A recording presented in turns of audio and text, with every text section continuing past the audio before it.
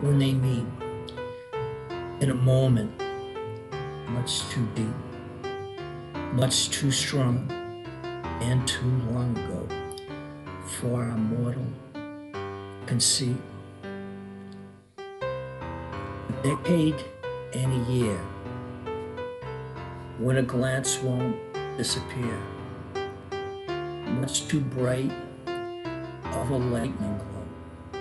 for our cares to compare. We dream it in our play, never see it through the day